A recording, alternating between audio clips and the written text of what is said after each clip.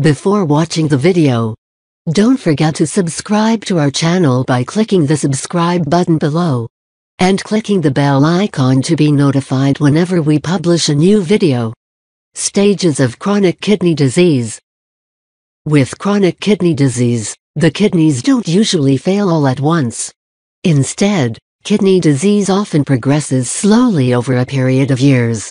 This is good news because if CKD is caught early, medicines and lifestyle changes may help slow its progress and keep you feeling your best for as long as possible. 5 Stages of Chronic Kidney Disease To help improve the quality of care for people with kidney disease, the National Kidney Foundation or NKF created a guideline to help doctors identify each level of kidney disease. The NKF divided kidney disease into five stages.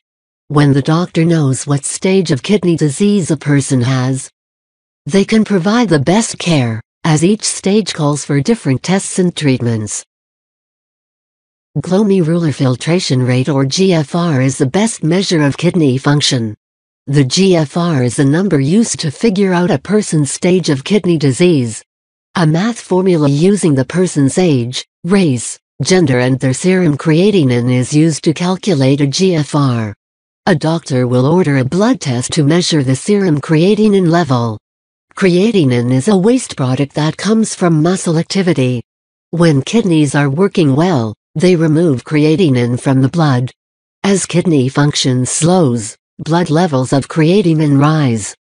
Your GFR measures from 0 to 100 and indicates your stage of kidney disease. Below shows the five stages of chronic kidney disease and GFR for each stage. 100 means no disease.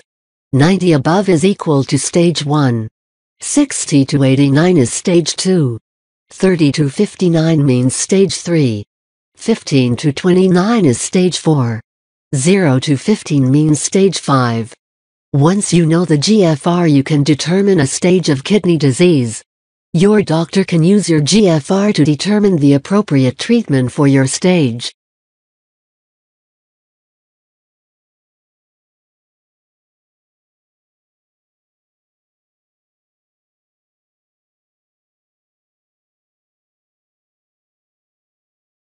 If you like this video, give it a thumbs up and share it with your friends.